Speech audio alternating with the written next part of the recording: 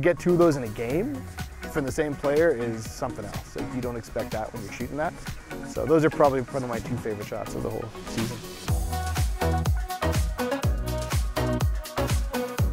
JC took the puck so fast off the draw, and I remember even the ref kind of stumbled and fell, and he just skated down on, all the way, beat everybody, and scored these two great shots. For me to get a shot with the shooter and the goalie, and if you look carefully, you can see the puck going five hole just under between the pads. That's almost a perfect shot. I just think as a shooter, that's exactly what you look for.